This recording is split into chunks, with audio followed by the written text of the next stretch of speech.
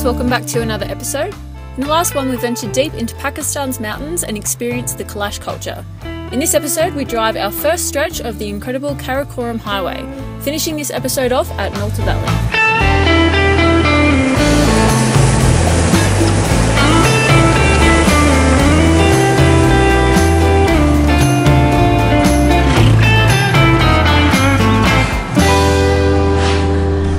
Spent the last couple of days catching up on our to-do list in Islamabad and Sana, just because he's just such a great guy and just an all-round legend, he's set up this spot for overlanders to come and camp.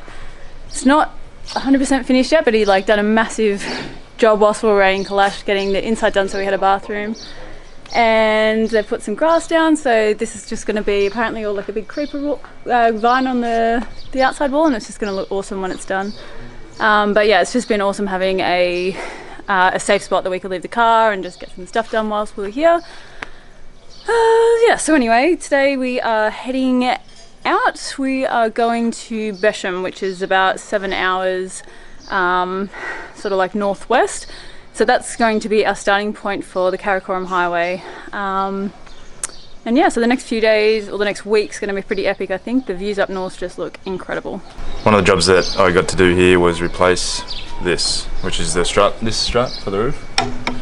Um, and you can see by this one, it wasn't really doing much anymore.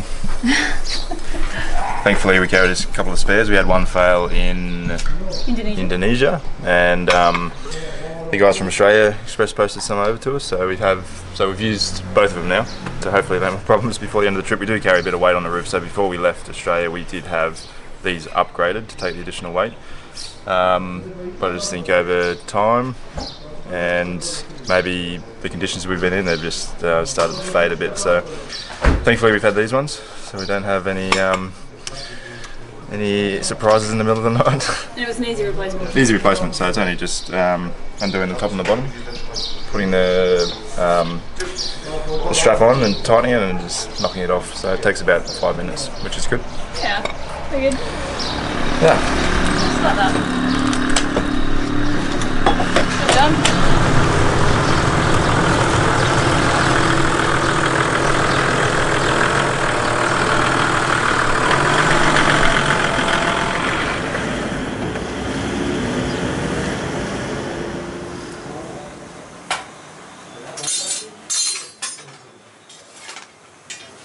We just have to get some snacks for the drive, and we're getting some fresh naan, and we just got some fruit and bickies.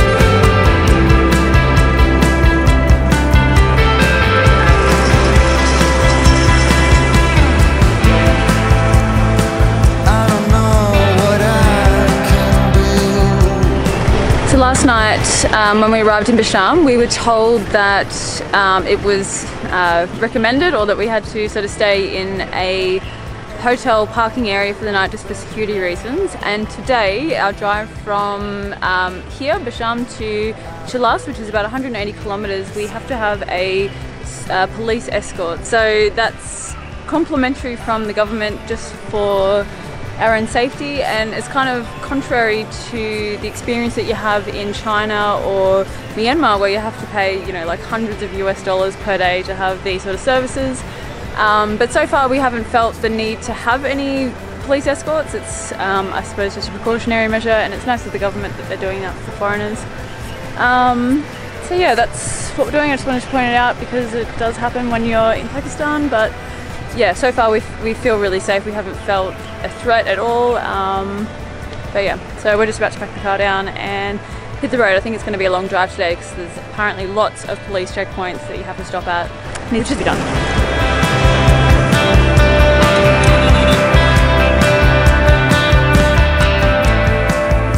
So we've driven about 50 kilometres so far and we haven't had an escort yet.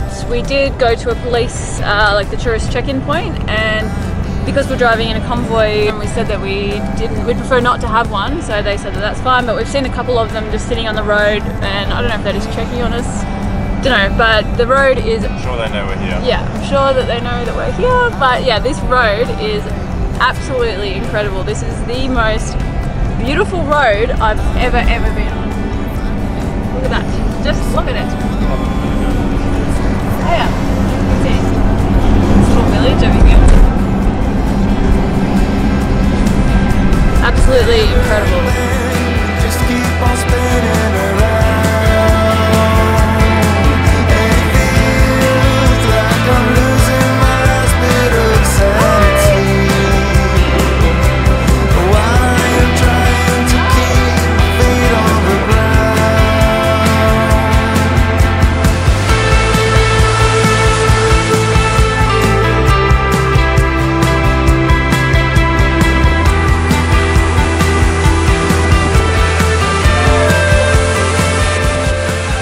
So we just stopped on the road and you have a look here. Cable car. This is a cable car, so to get to the other side, they sit in here. takes like two people and baggage. Go have a look at the edge.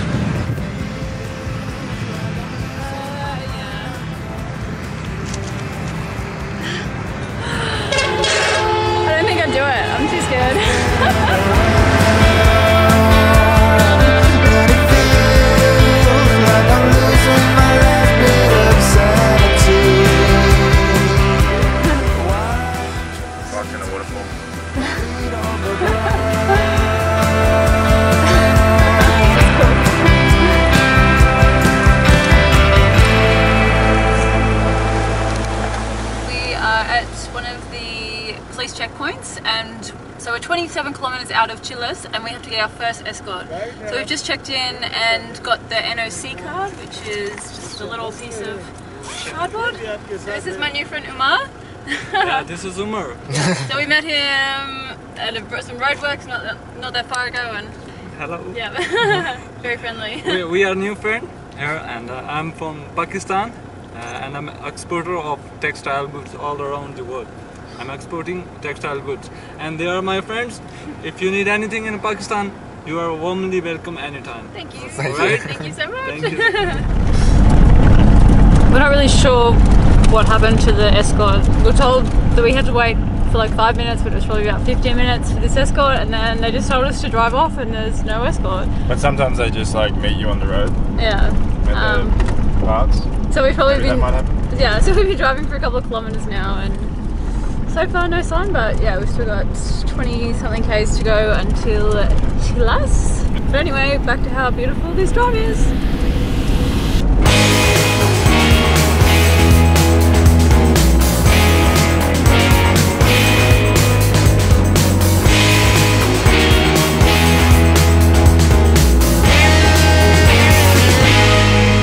We just had a bit of a uh, nothing campsite last night, just on the side of the road. So we just sort of kept driving past Chilas, and then um, yeah, so we just camped here.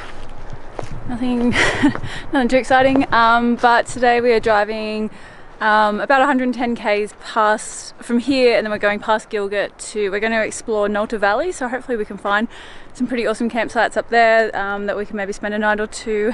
Um, but yeah, I'm actually really surprised. So at the moment we're only at like 1200 meters, and I honestly thought that we'd be higher by now, and it's really not cold at all. Like it's still really warm. Um, but yeah, so I think I'm expecting it to to go up in elevation a fair bit today.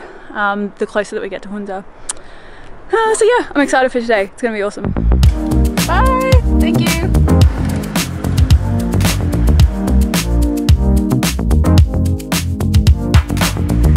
So our first checkpoint for the day. It's only about five kilometres from where we stopped. This is the entry into the next area, and I think from there's maybe one more after this, and then it's kind of a bit more fluid, which will be good. Yes. Um, Yes. We usually carry, I'm not sure if you mentioned it before, No. we usually carry copies of our, photocopies of our passport and visa, and registration, and a mobile number, which we can just hand over to them here. We've actually run out because we went through so many yesterday, so they've just taken our passports to fill the information out. So hopefully we can get all that filled out and returned and be on our way as soon as possible. Just five minutes. Yeah, just five minutes. when they say five minutes, it usually means half an hour. Watch out!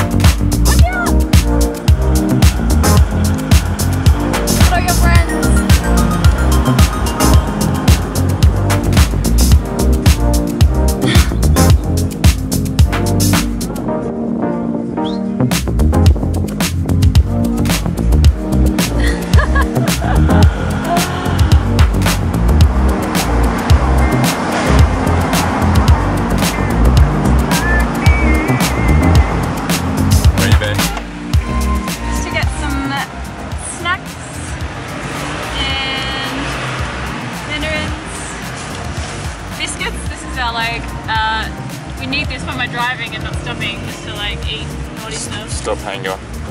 Yeah. Which it's definitely not me. just some snacks. Where are we? Uh, we're in Gilgit. I'm just checking.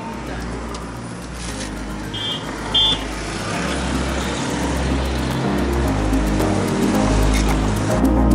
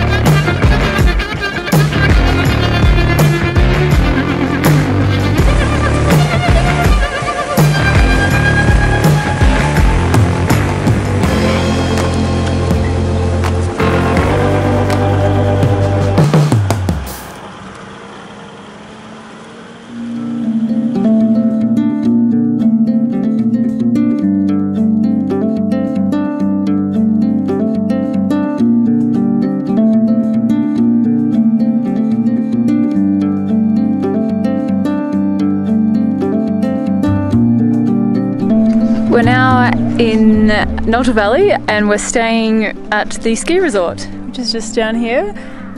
I never thought that there'd be a ski resort in Pakistan. Apparently, like pre 9 11, tourism here was just huge, but yeah, afterwards it, yeah, it suffered a lot. Um, so it's slowly getting back up there again, but yeah, this place is just beautiful. Um, it's a beautiful mountain range behind. There's been a couple of avalanches since we arrived, has been pretty cool to watch. Um, yeah, the track up here was pretty adventurous. It was probably the most adventurous four-wheel drive track which we've been on for a while. Um, there was a few pretty loose rocky sections. Um, but yeah, the snow in springtime can be pretty sloppy and I am not wearing the right footwear. Anyway, yeah, Australia. Australia. uh, so yeah, we're just having some tea. We're gonna have some dinner soon. Set up tonight. It's gonna be pretty cold, I think. So I did actually change my boots. I'm not walking around in my thongs, slippers, flip flops, whatever you like to call them. a bit more appropriate Yeah, a little bit more appropriate. Oh, my feet were so muddy before, it's disgusting. and cold. And cold. oh my god, this is cheap. They're touching my knee. It's such a novelty for us being in the snow because uh, there's never ever any snow where we live in Australia.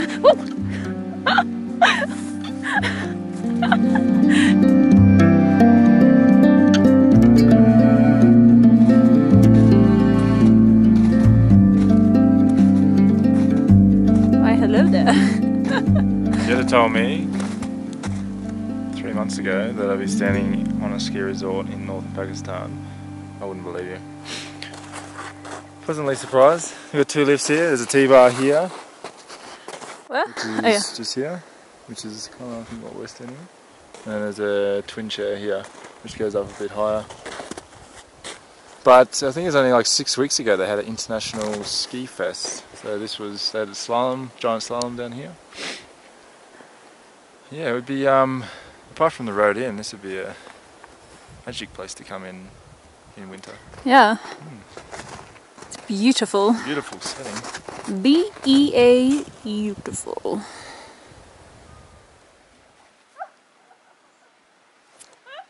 That's it for this episode. Join us in the next one where we complete our journey up the valley and finish the amazing Karakoram Highway. Until then, thanks for watching. See ya.